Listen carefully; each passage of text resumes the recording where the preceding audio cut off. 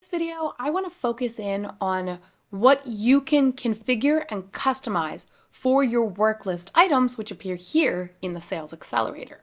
So in this list, I'm looking at leads, and by default, I have three rows of data that show up. I've got the name, the follow indicator, and predictive score if I have that set up in my environment. Then I'm going to get my job title and the company name, and finally the up next activity.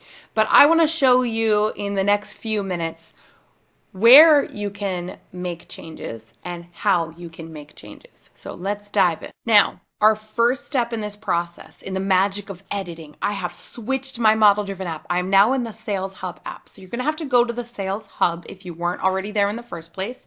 And the first thing we have to do is actually just turn on the capability for work items to be customized because until you do that, nobody, even your system administrator, will have the capability to actually go in and customize work items in your organization.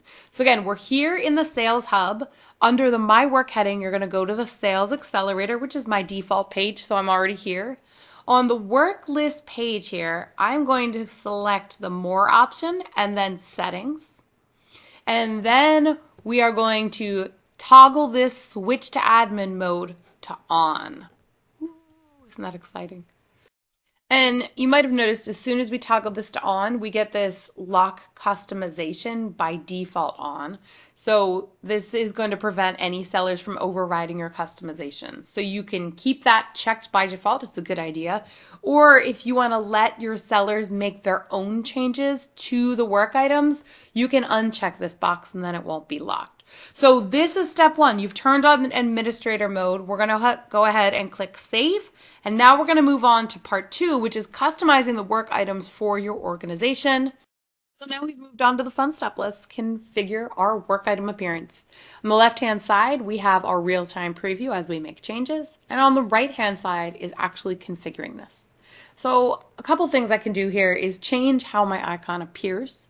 Right now it's set to record initials. I can change that to record image, record type, which is really interesting if you're going to have work list items with multiple tables in your system, and activity type. I'm going to do record image for now. And then I can configure additional things. So we can add the plus icon to add a fourth row of data. So we could add something like an email address. That could be a really interesting thing to add. So let's add email. And if I want to add a second box on that row, instead of hitting the plus icon, which will give me a whole new row of data, I can hit the three dots right here, more options. I can add a field, add an icon, or remove that role. So I'm going to click add a field. And you can see there's both record fields, so I'm on the lead. So these are all of the columns on the lead table. I could also select from the related record fields too which will give me all of the related tables off of that. So like parent account could be really interesting, right? I could pull in the details of the account. But for this, I'm going to grab on phone number. So let's grab the mobile phone. And you can see this is what it's starting to look like. Finally, I can click this icon with a pencil edit on the up next activity. And by default, they're all turned on. I can turn some off if I'd like click save, and then all the details are going to change.